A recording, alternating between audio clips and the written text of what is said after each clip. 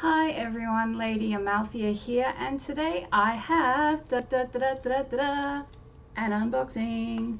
My Light Seer's Tarot arrived after I'd already asked for a refund because it was three weeks late. um, so the refund hasn't hit my account yet, but yeah, I'll uh, be contacting the company and letting them know it actually did arrive.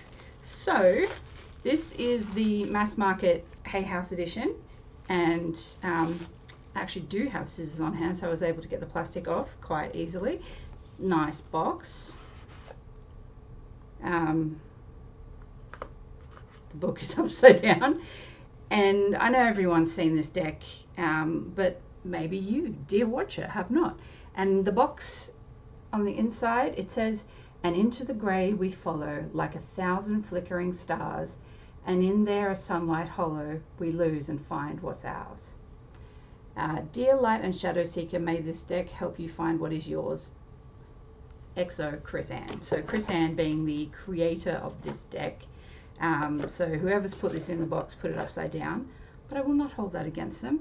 Um, now, after I ordered this deck, I discovered that um, the Hay House editions had some misprintings and some errors. So I don't know if this is one of the decks that is um, misprinted.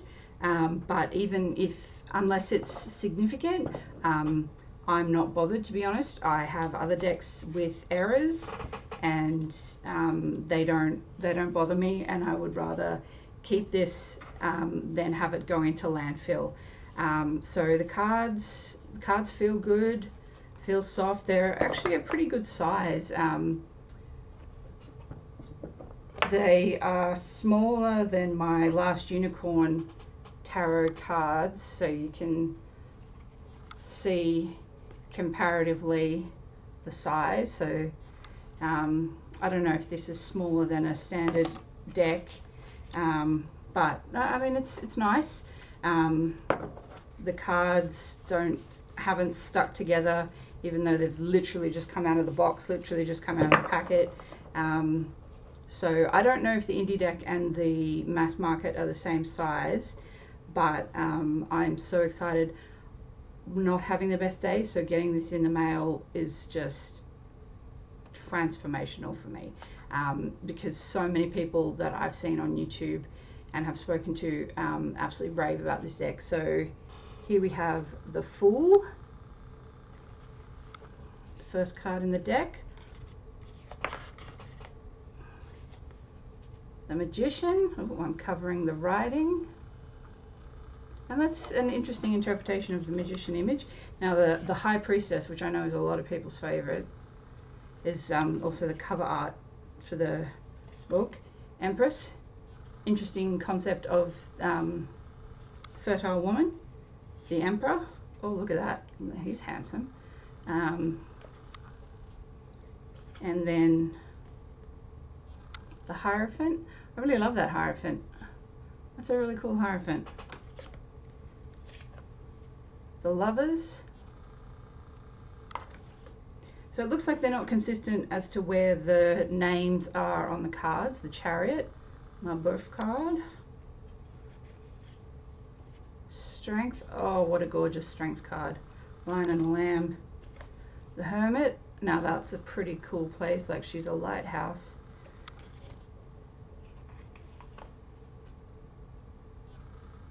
The wheel, justice, that's cool. The hanged man. The corners are like a bit sharp. Um, this is like there's no fancy gilded edges on these. Death and rebirth. Interesting, interesting. Temperance, the devil, the tower, that's a bit blurry. Those squirrels down the bottom? Yeah, it's a squirrel down the bottom.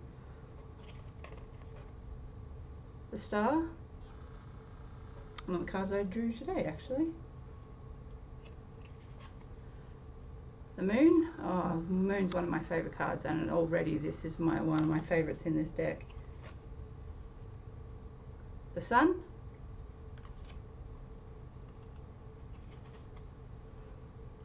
Judgment. That's beautiful judgment.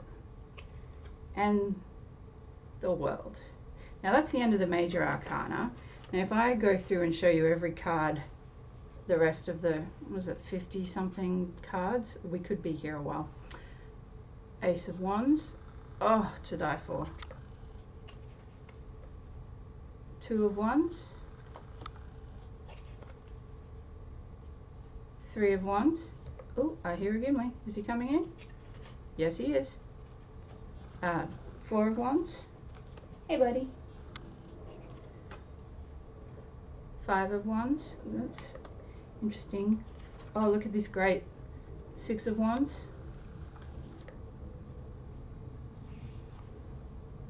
Seven of Wands. Honestly, like the sharpness of the cards makes them feel a bit slightly uncomfortable in my hands. Um, Nine of Wands.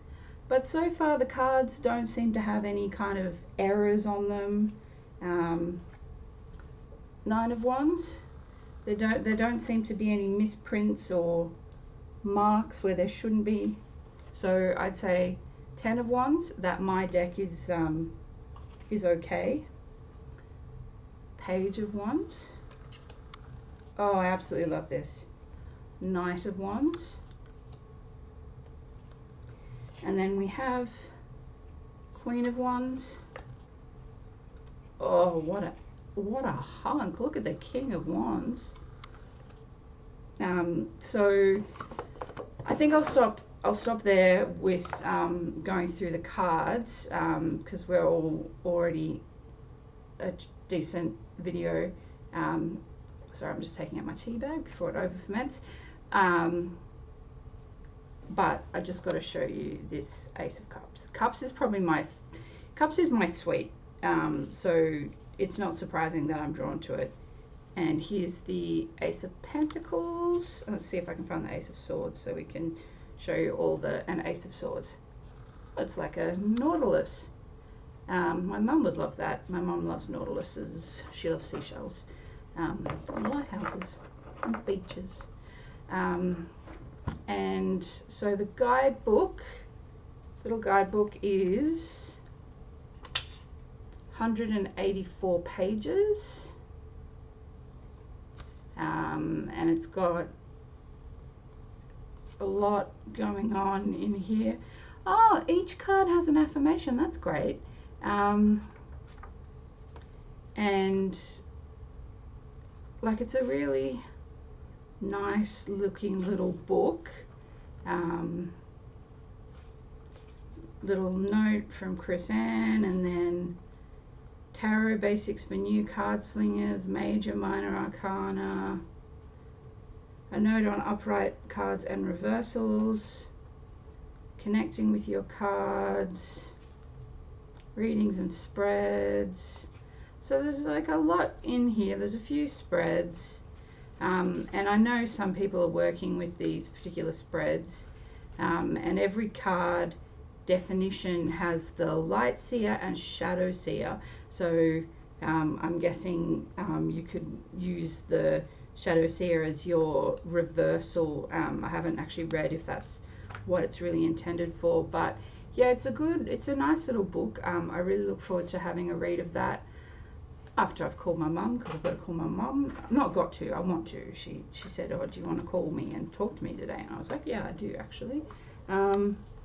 Yeah, like the inside of the box when you first look at it, you're like, "Oh, is that like damaged?" But it's just like stars, so it's yeah, it's not damaged. So yeah, this is a beautiful deck. Um, it's a nice small size. I can see me like just chucking it in my bag because um, a lot of tarot decks are so big and bulky um, that they're not so portable and I don't have the world's biggest bag that I carry around and it's always pretty full anyway so I don't want to um, overburden myself but I want to be able to carry a deck around and I feel like this is would be a good deck and I feel like a lot of people would connect to it because it's, it's a very diverse deck so I'm really glad that um, it did show up and I'm interesting it chose today to show up um, yeah, it's quite late, but it's fine. It came. Um, I'm just glad it came because I was a bit upset that it hadn't come and this was going to be the only tarot new deck I got for quite some time, um,